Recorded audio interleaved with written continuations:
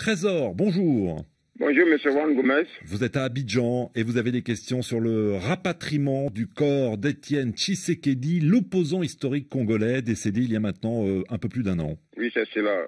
Euh, le cabinet présidentiel congolais aurait pris contact avec la famille Tshisekedi pour le, pour le rapatriement du corps de l'ex-leader de l'opposition congolaise, Étienne Tshisekedi.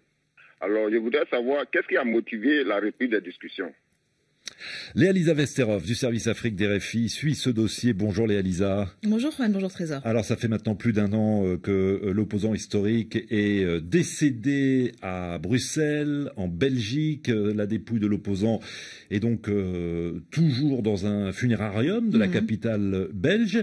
On a entendu ces derniers mois la, la famille d'Étienne Tshisekedi dénoncer la mauvaise foi du gouvernement congolais.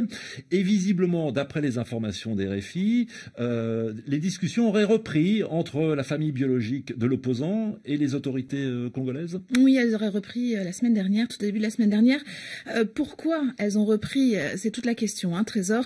c'est en effet un émissaire du président de la République, Joseph Kabila, qui a repris contact avec la famille d'Étienne Tshisekedi pour reprendre ces discussions. Pourquoi maintenant? Eh bien, certaines sources disent peut-être qu'il y aurait eu un, un stop qui a été mis à ces négociations, notamment du fait de la crise du Kassai et des euh, nombreuses crises humanitaires qui se sont développées euh, ces derniers mois et que là, à l'approche des élections à la fin de l'année, euh, les autorités se sont dit il faut qu'on relance, il faut qu'on relance tout cela, mais c'est difficile de le savoir avec précision puisque difficile d'avoir des informations claires du côté du, cabinet du président. Mais en tout cas, selon la famille d'Étienne Tshisekedi, c'est bien ça qui est en train de se passer. Les discussions ont repris puisque elles disent que l'accord avait été trouvé hein, en juin dernier, mais que tout à coup, au moment où ce document devait être signé, euh, silence radio, plus de nouvelles, euh, et donc depuis aucun contact avec euh, avec la présidence pour savoir qu'est-ce qu'on va faire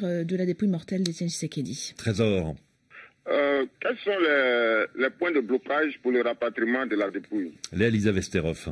Eh bien, aucun point de blocage a priori. Hein. Là encore, selon nos sources, l'accord sur lequel la famille biologique politique et les autorités congolaises euh, sont sur le point de se mettre d'accord et sensiblement, voire exactement le même que celui qui avait été conclu en juin dernier, comme je vous le disais, à savoir enterrer euh, le corps d'Étienne Tshisekedi sur la parcelle de la famille à l'extérieur de Kinshasa, euh, dans la commune de Lansele. C'est ce lieu hein, de sépulture qui avait bloqué lors des deux précédentes tentatives de retour de la dépouille mortelle de Tshisekedi. Le gouvernement avait d'abord, je vous le rappelle, proposé l'enterrement du sphinx de Limité, hein, c'est son surnom, euh, au centre de Kinshasa, à l'extérieur du cimetière de la Gombe, euh, refusé par la famille biologique et politique à l'époque, euh, qui au dernier moment trouvait déshonorant qu'il soit enterré comme le commun des mortels dans un cimetière classique.